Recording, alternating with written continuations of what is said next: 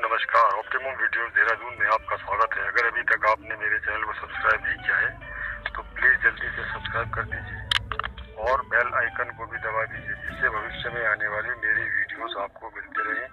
और दोस्तों, ये बिल्कुल फ्री है। दुनिया में ऐसी बहुत सी खूबसूरत जगहें हैं जो कि रहस्य से भरी है। लोगों को भी ऐसी जगहों में जाने और रहस्य जानने का बहुत शौक होता है। लेकिन कुछ जगहों के रहस्य तो विशेषज्ञ भी नहीं बता पाए। आज हम आपको ऐसी ही रहस्यमयी और खूबसूरत जगह के बारे में बताने जा रहे हैं।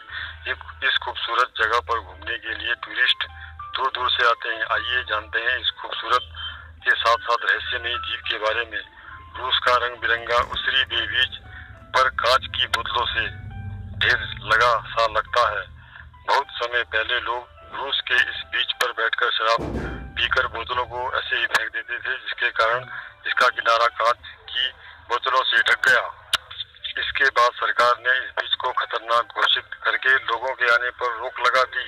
सालों तक ऐसे ही पड़े रहने के बाद ये कांच की बोतलें छोटे छोटे टुकड़ों में बदल गई और धीरे धीरे यह कीमती पत्थरों में तब्दील हो गए।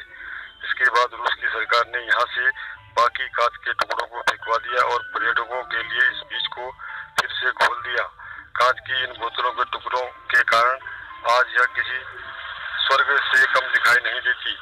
इन पत्थरों को देखने के लिए पर्यटकों की भीड़ लगी रहती है। सफ़ेद समुद्री रेत के ऊपर पड़े कांच के पत्थर इस बीच की खूबसूरती को और भी बढ़ा देते हैं। टूरिस्ट यहाँ की खूबसूरती देखने ही नहीं, बल्कि गर्मियों में मौज मस्ती करने के लिए भी आते हैं। दोस्तों, इस जानकारी को लाइक और शेयर ज़रूर कीजिएगा और मेरे चैनल को सब्सक्राइब ज़रूर कर दीजिएगा। आपका बहुत बहुत धन्यवाद।